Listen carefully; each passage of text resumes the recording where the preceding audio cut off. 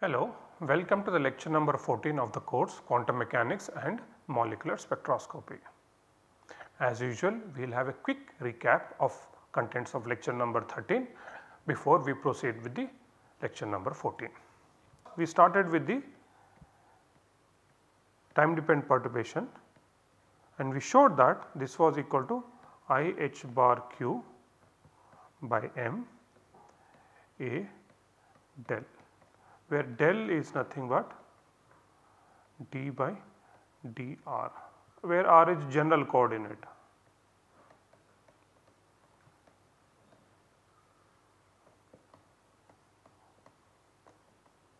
Okay, it could be x, y, z or whatever. Okay r. Okay. Now this we could transform to q e naught by omega m cos omega t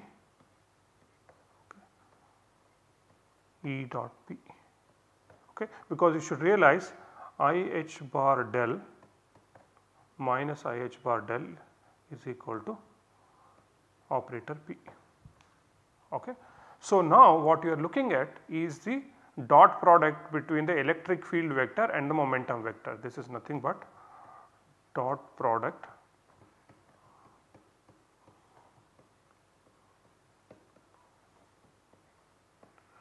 electric field vector and momentum vector.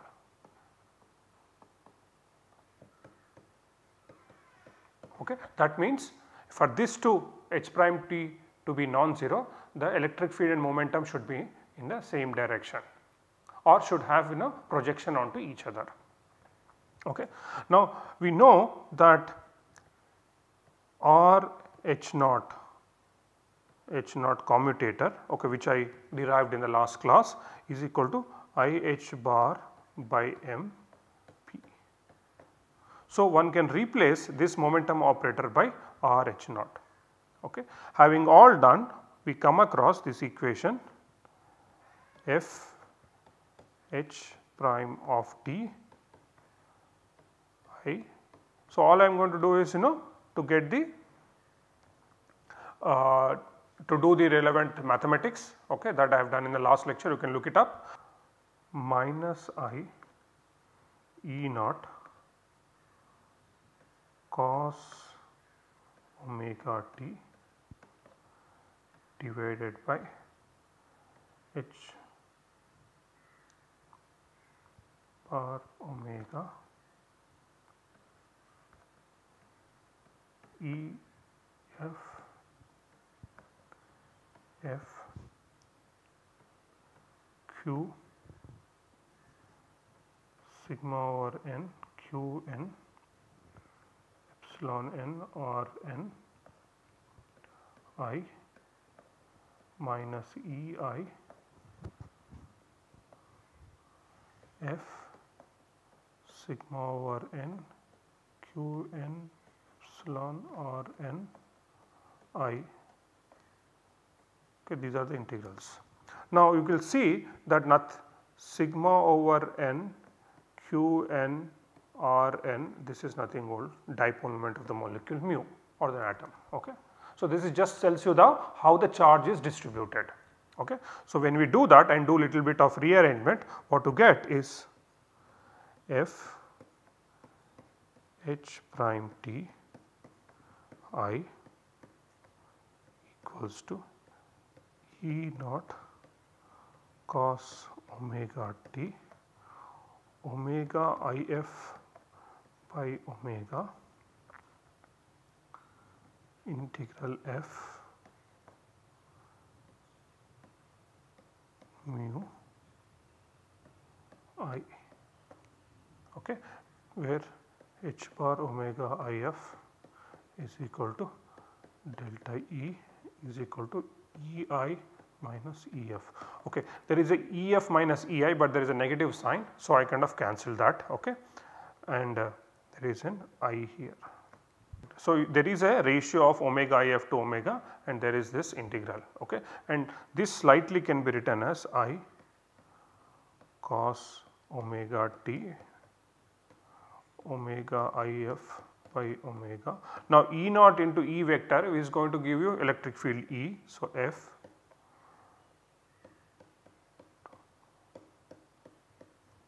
okay. Now, your integral f h prime of t i will be equal to i cos omega t omega f i. Uh,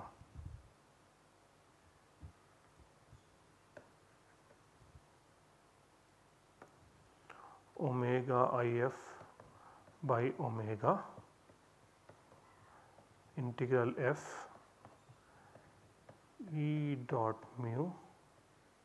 Mu also is a vector by the way, the dipole moment is a vector. Okay.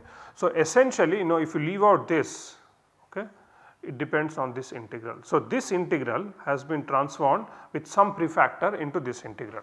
Okay. So, you can think of it like this f h prime of t i is proportional to f e dot mu okay and this moment integral is called transition moment integral.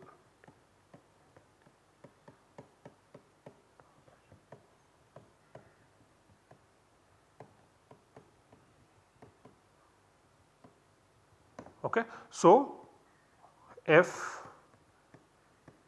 E dot mu i okay, is one of the most important integrals in spectroscopy. It is a transition moment integral and that will determine whether the transition will take place or not.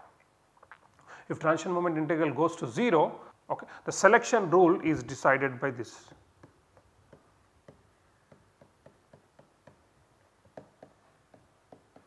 Okay. Now, let us think of a let me give a simple example. Okay. Let us suppose that okay, there is an electric there is an electromagnetic radiation which is going like that. Okay. So, this is the direction of propagation r okay, and your electric field vector E is along this. Okay. Of course, when it goes down it becomes minus E So, the electric field vector is going up and down okay, in this direction E and me. So, it changes sign. Now, if you take a diatomic molecule, let us consider a single diatomic molecule AB.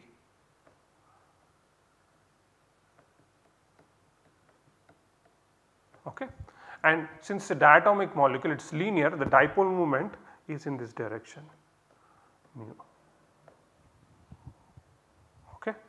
So, if you consider A as a positive and B as negative the negative direction is that. So, it is okay, um, positive negative.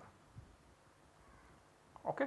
So, uh, A so now you can see that if the propagation direction is r and the dipole moment is along the r. So, now think of it like this. So, if your light is propagating like that and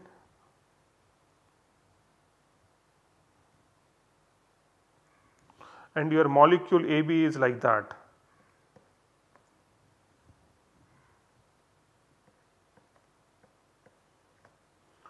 Okay. Now, what is the E? E is perpendicular. So, your epsilon dot, so this is your mu and this is director. So, and your epsilon vector is like this. Okay. Epsilon dot mu is equal to 0 because the dipole moment of the molecule AB and your vector epsilon are perpendicular to each other. That means under these circumstances the molecule will not absorb light or there will be no transition. On the other hand if AB is like this, if if you have AB like this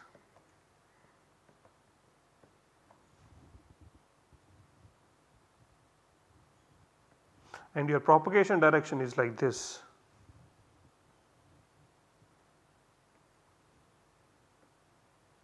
Okay? And your electric field vector is like this. Okay? Now epsilon and mu are parallel to each other. So, the dot product will be maximum. So, this will be epsilon dot mu will be not equal to 0 or any direction that is has a projection. That means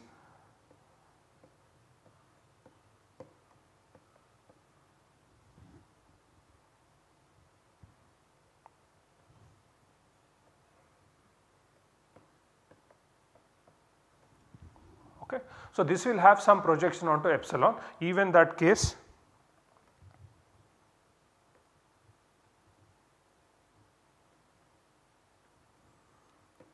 epsilon dot mu will not be equal to 0. Okay, that means the transition moment integral that is f okay, E naught transition moment integral is equal to E naught dot mu this will become non-zero. So, which means if the dipole moment and epsilon the electric field uh, should have projection onto each other only then the transition moment integral will not to 0. So, that tells you the direction in which the electric field vector and the dipole moment have to be aligned with respect to each other. Okay.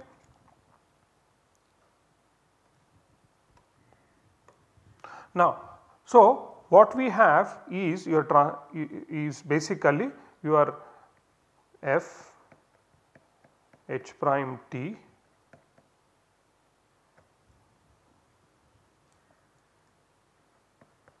i is equal to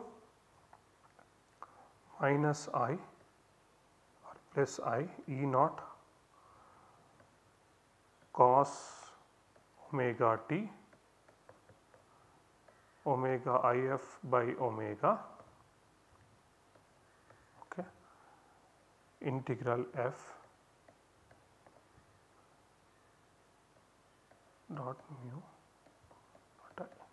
So, as I told you this is nothing but your transition moment integral okay. And I also told you that the dipole moment and the electric field should have projection onto each other.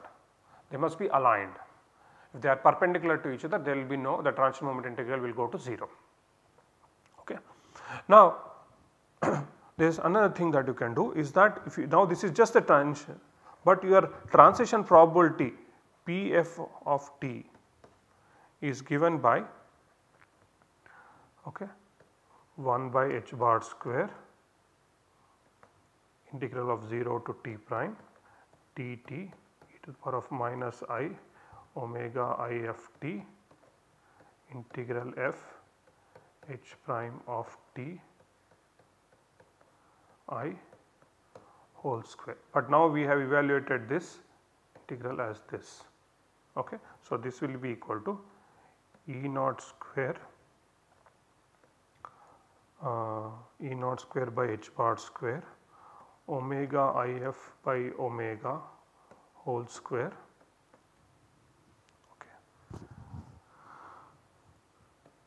0 to t prime dt e to the power of minus i omega i f t cos omega t integral f epsilon dot mu i whole square. Now this is an integral that does not involve time and this is an integral so I can separate it out as two integrals. So this is nothing but E naught square by h bar square omega if by omega square integral 0 to t prime t t e to the power of minus i omega if t cos omega t square to f epsilon dot mu i whole square. Okay. So, we know how we will know to, we will know how to evaluate this integral if you do if you know E dot mu operator and if you know the states f and i okay and these are just the prefactors. So, now it comes to evaluating this integral we do not know that okay. Now, let us look at that integral. So, the integral 0 to t dt e to the power of minus i omega i f t cos omega t is something that I need to evaluate. Okay. Now this integral this is equal to 0 to t prime dt e to the power of minus i omega i f t cos omega t. Cos omega t is can always written as e to the power of i omega t minus e to sorry plus e to the power of minus i omega t by 2 is not it? Cos theta definition is that. Okay e to the power of i theta plus e to the power of minus i theta by 2. Now if I slightly rearrange this equation will become 0 to t prime dt e to the power of if I take i common then I get omega minus omega if t okay plus e to the power of minus uh, e to the power of minus i if I, uh, if I take minus i common then I will get omega plus omega if t and there is a half outside. I will get two integrals. Now I am going to slightly rearrange this. So this is called half integral 0 to t prime. So omega if will become so e this will become e to the power of i omega fi plus omega t 2 plus e to the power of my okay. Now this omega fi okay if it becomes minus omega fi minus omega fi and I can take minus of here from outside. So, it will become i into omega fi minus omega. t t t.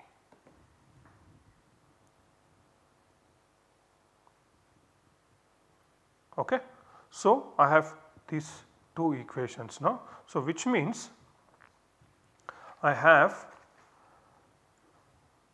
this is equal to you will get two integrals integral 0 to 2 prime e to the power of i omega fi plus omega t dt plus half integral 0 to t prime e to the power of i omega fi minus omega t dt.